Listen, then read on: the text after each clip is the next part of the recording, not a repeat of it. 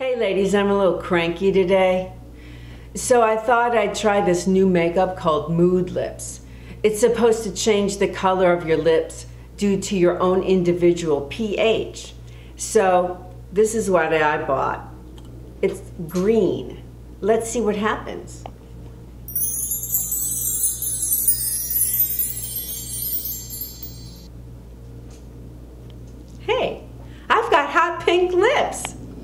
This is gonna be a much better day.